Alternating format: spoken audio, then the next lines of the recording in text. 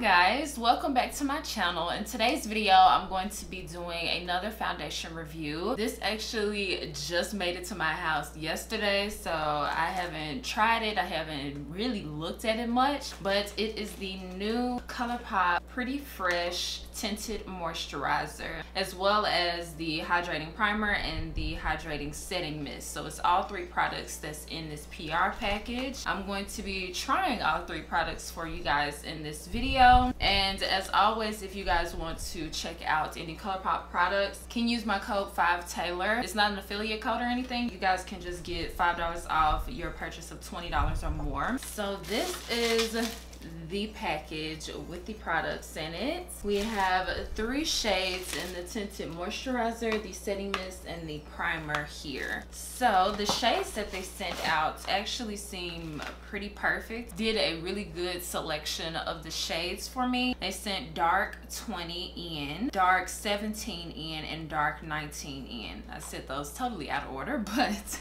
yeah.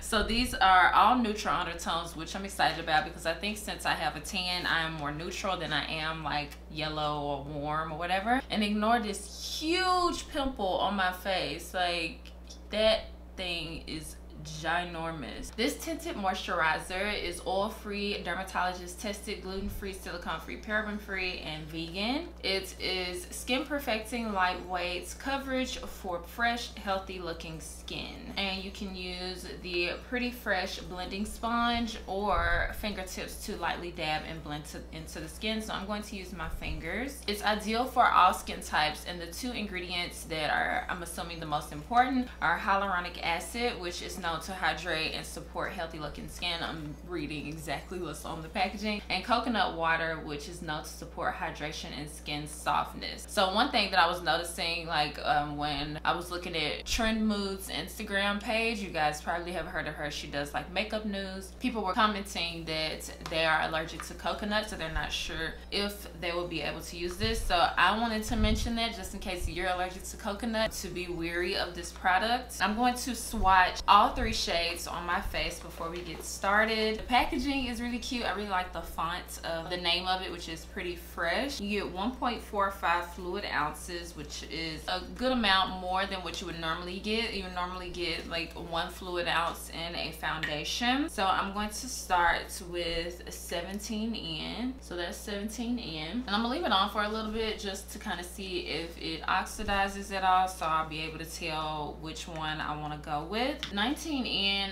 I don't know if it's going to calm down a little bit, but it looks like more on the yellower side than neutral, but we'll see. And then the last one is 20N, and 20N kind of looks red. There are 24 shades in this foundation, and they come in neutral and warm undertones. So if you have cool undertones, this tinted moisturizer isn't going to satisfy that according to the way that they have named their shades, but it's a chance that there might be some shades that might be more cool because I'm looking at this one that's supposed to be neutral and it kind of looks warm to me. So you may still be able to find something for you even if you have cool undertones. It's a sheer buildable coverage. It gives you healthy, hydrated, and fresh skin. So I think I'm going to go with the darkest one and if necessary I will blend a little bit of 19N on top if I feel like it needs to be lightened down a little bit. But I'm going to go with 20N all over the skin just because this one I feel like is blending in the most with my skin. I do have a tan so this might work for me in the winter time but this is the closest to me right now at this moment. To go in with the primer. Now this is a hydrating primer. As you guys know I do have oily skin but I want to try it with the primer. And that's the color of the primer. Is pretty much the same as what you see in the container. And I just put a little bit because I'm only gonna do half my face. Oh it smells really good. It smells like baby baby lotion I just applied a little bit more. And it doesn't feel overly hydrating. It's almost like how you would feel on maybe like a smoothing primer. So I like that, but we will see if it does any smoothing or anything like that. Now I'm going to go in with the shade 20N and I applied a little bit to my fingers. I'm gonna work it in, I'm gonna press it all over. This is so weird using my fingers. Definitely need more bringing this up underneath my eyes to cover there as well. It did give like slight coverage. I applied it to both sides. Of course, the side that I applied the hydrating primer on is a bit more dewy in a sense than the non-prime side. I like the finish of it. It isn't too in your face. It doesn't really even look like I applied anything if I'm being honest. I kind of want to build up on my blemish area it doesn't really look that much different than before I built it up, but I think the tinted moisturizer looks exactly like a tinted moisturizer. It isn't like super heavy on the cover, so if you do have imperfections that you want to cover, you may not get to do that with this, but that's for any tinted moisturizer or most tinted moisturizers. So I'm going to finish the rest of my makeup and I will come back to show you guys the finished look. I'm really glad that I went with the shade 20N because it looks pretty perfect. I don't feel like I need need to apply any of 19N. So it looks really nice. If we're similar shades right now, as far as like with our tan, then dark 20N is the perfect shade. So like I said, I'm going to finish the rest of my makeup and I will be right back.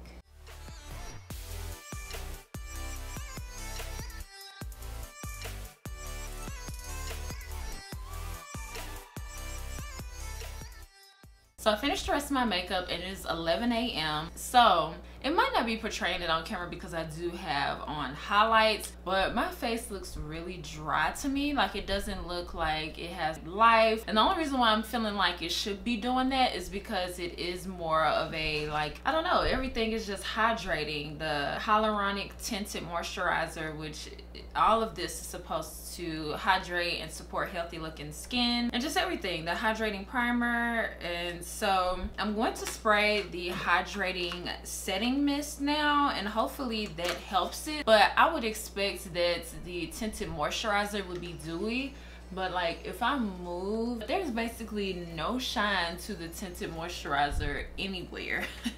Which I'm not saying is a total bad thing because I have oily skin and I absolutely love products that don't make me more oily. But I'm just thinking everything about this product and the primer and everything points towards like you would think it would give you maybe dewy hydrated looking skin. But so far I have not gotten that. I don't know if it has anything to do with I did use the ColourPop setting powder and that may have mattified it but I only applied it in the areas that my concealer was. But even like down here that's why I'm focusing down here because even there it doesn't look like super hydrated or anything like that. But i'm going to spray the hyaluronic acid setting mist which again hyaluronic acid is different than how the name would suggest. It isn't like acid in the sense that it will burn your skin. Hyaluronic acid helps with the hydration so it's a good ingredient. I am gonna do a few test sprays. Oh i like that mist. Okay let's see Okay, I'm gonna let that dry and then we'll see. It was a super, super fine mist though, so I really like that. So it's all dried now, the um, setting spray that I just used. And it might have helped like very little, but it still looks dry to me. It feels better because after I sprayed that, I realized that it also felt a little dry because once that dried, it doesn't feel like how it felt before I applied that. So I don't know, it's a good thing for me, but I know if you guys are are reading the info about this product, you might be thinking it's is going to be super dewy, but it isn't like that for me. So yeah, I'm going to wear this for the rest of the day. I actually have high hopes that I won't get super oily with this because of how it doesn't feel dewy or hydrating or anything like that. So stay tuned to see how it wears the rest of the day. And yeah, let's get this day started. Hey guys, it is 2.45 p.m. and I've had the foundation on for I think, I kind of forgot what time did I put it on, but I think it's been four hours. And I am oily, like all over. And you can see right here from where my sunglasses were that the foundation has come off. So it isn't like um, transfer proof even though like a lot of the foundations do come off in the area. I feel like it's come off more than normal especially on this side on the non-prime side on the prime side it has stayed on more as far as where I had my sunglasses So the primer does help with like the transferring when it comes to the sunglasses. I am super oily. You can definitely see it all around my nose area. And for four hours, I feel like that's a small little window, but it is a tinted moisturizer. So I do have to keep that in mind. Definitely looks less dry than it originally did when I first apply it, of course, because I'm oily. But I will keep you guys updated throughout the rest of the day so you guys can see how it wears. But I'm predicting it's going to get more oily. Hi guys, so different outfits and my lipstick is gone.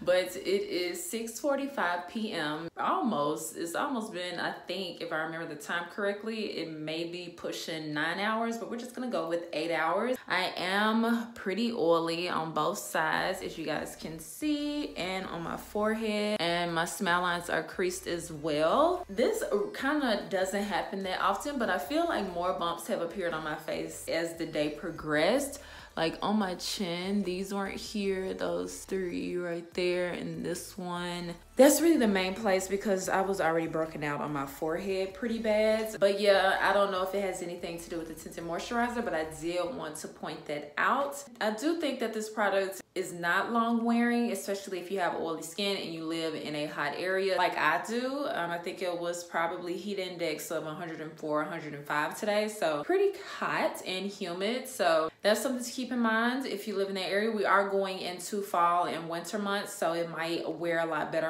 me as we get into those months. So I definitely will be trying it again and probably with a different primer. If I'm going from prime to non-prime side, the prime side is less oily than the non-prime side. You can kind of see a huge difference or at least I can right over in here versus over here it's just a little bit. So that's something as well. I'm thinking if I use like a mattifying primer that's oil free that it will work really well with this tinted moisturizer but I did get creases in my smile lines on both the primed and non-primed side so it doesn't prevent it from that. All right, so flashback. I just tested it in a regular lit room with the lights on. No flashback. When I turned the lights off, no flashback. So pretty perfect on that end. So yeah, that's pretty much it. That's all I have to say about this foundation, well, tinted moisturizer. Let me know what you guys think about this product down in the comments. Make sure you subscribe before you leave as well as thumbs up this video. It really helps me out.